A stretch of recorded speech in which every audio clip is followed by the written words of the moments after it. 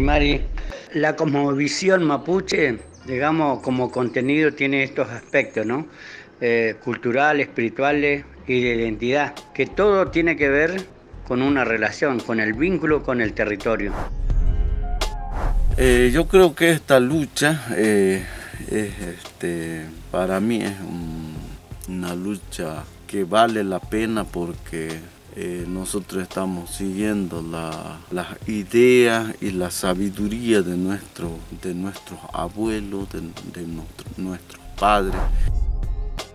Bueno, el territorio para nosotros es identidad, cultura, espiritualidad, conexión, es un todo para nosotros el territorio no es eh, algo económico.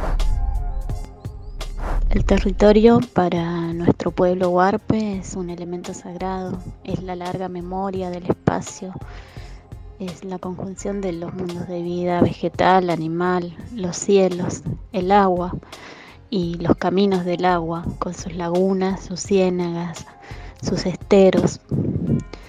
Está relacionado con nuestra identidad, para nosotros Tetac es nuestra madre tierra, es la que nutre, la que abriga, aquella de la cual nacemos, nos alimentamos, nos curamos, crecemos y hacia, hacia quien retornamos para iniciar luego el ciclo en ese círculo interminable de la vida.